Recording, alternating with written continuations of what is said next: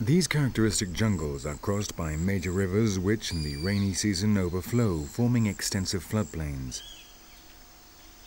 The climate is subtropical, with the summer monsoon accounting for 90% of the annual rainfall. When the monsoon arrives, the vegetation literally explodes, covering everything.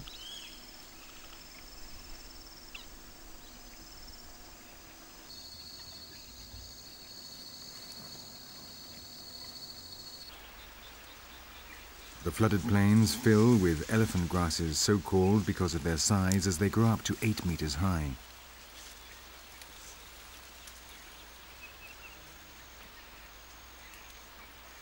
It is an ideal ecosystem for plant eaters, the many different species that feed on grasses which occupy and colonize it, forming an intricate tapestry.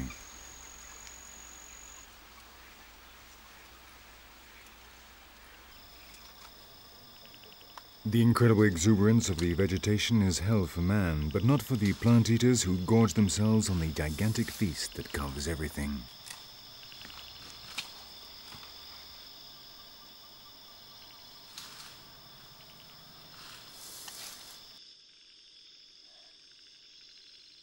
At this time of year, the rhinoceroses and a number of species of deer, such as the sambars and the chital, spend many hours here.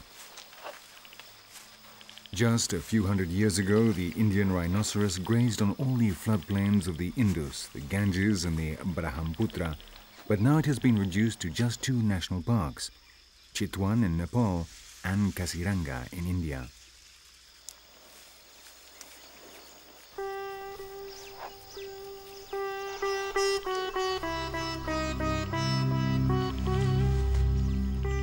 This region called Terai forms the northern border between India and Nepal and is occupied by ecosystems characteristic of the sal forests and grasslands flooded by seasonal rises in water levels. These are the lands of the Indian rhinoceros, the final refuges of the unicorn.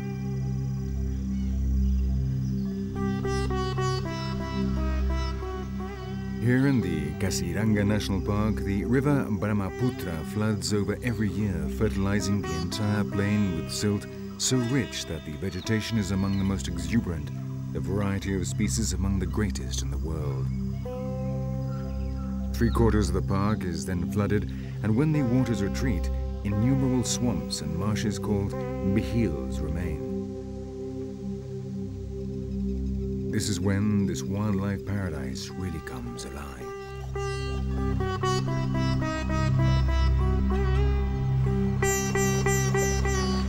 Seventy percent of the world population of Indian rhinoceroses live here. For them and for the Asian elephants, water provides a refuge from the heat and a place in which their enormous body weight is a little easier to bear.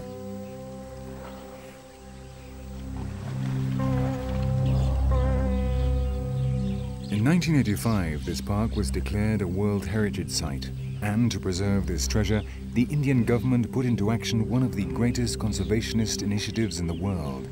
In Kaziranga, there is one guard for every square kilometer.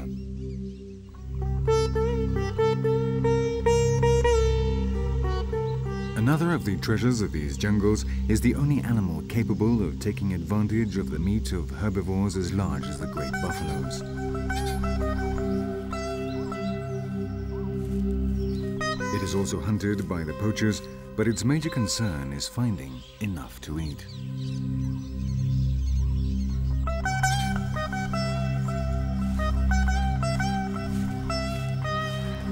The presence of the tiger is the cause of one of the greatest problems, the coexistence of the national parks and the people who live close by them. In the country as a whole, at least 50 people die every year from tiger attacks between 3 and 5 in Chitwan alone, almost always due to imprudence on the part of the victims. But the tiger avoids humans whenever it can. It would rather risk its life trying to bring down an enormous buffalo. This one has been badly injured in a fight with one of the great striped felines. Its hindquarters, its back and its face have been clawed and bitten, and it has lost an eye.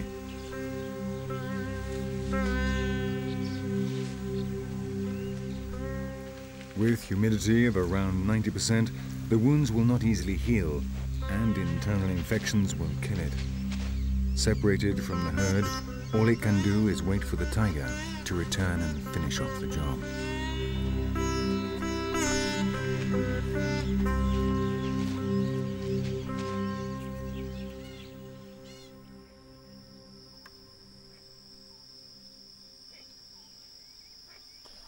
Now it is easier to understand the function of the armor-plated skin of the rhinoceros. You can eat in peace if you have that kind of protection from possible attackers.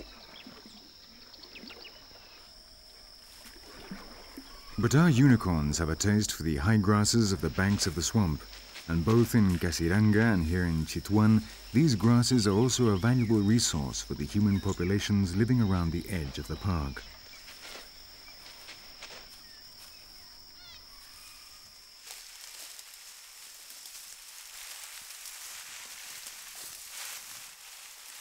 Since 1973, when it was declared a national park due to the fact it was the only place in Nepal where rhinoceroses remained, a number of human settlements have been moved. The people transferred to more fertile places without wild herbivores.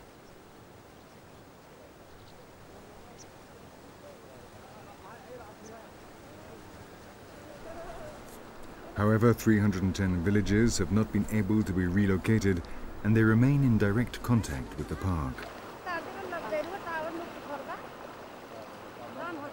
When the season arrives, the local inhabitants cross the river and enter the reserves armed with their recently sharpened sickles.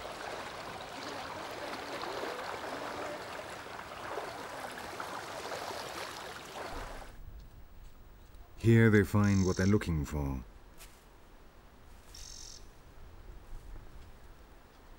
The natives have a legal concession to harvest the high grasses each year. Around 60,000 people gather almost 11,000 tons during harvest time, which lasts for 15 days or so.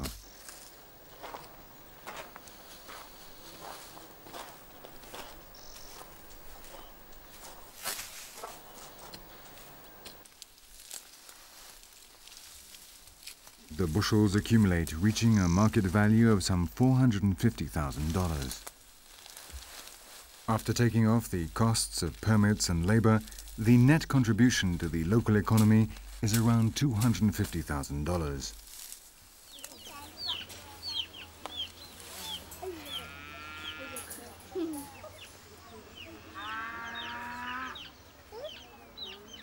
As well as the income from sales to the paper industry, the grasses are also a basic construction material for these people.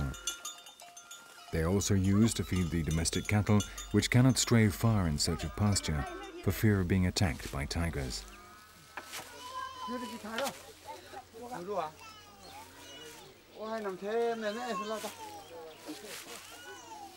The heavy monsoon rains make constant repairs to the roofs necessary. This is also done with dried grass.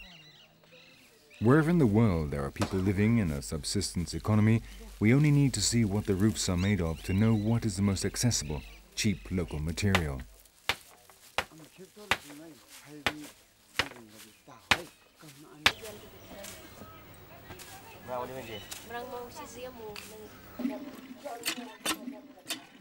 Underground water, clean and healthy, is fortunately abundant.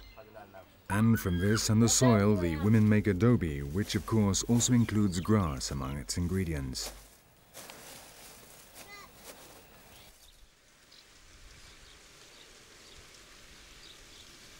But not all land uses are as uncontroversial as the harvesting of elephant grass. Wheat and cotton fields are slowly replacing stretches of jungle. Here, man is constantly present, carrying out the different tasks in the course of the year. And this creates problems with the local wildlife. These towers, called machans, are watchtowers from which to spot wild animals. There is always a lookout on duty, ready to raise the alarm whenever a tiger or rhinoceros enters the fields, posing a threat to the workers' lives.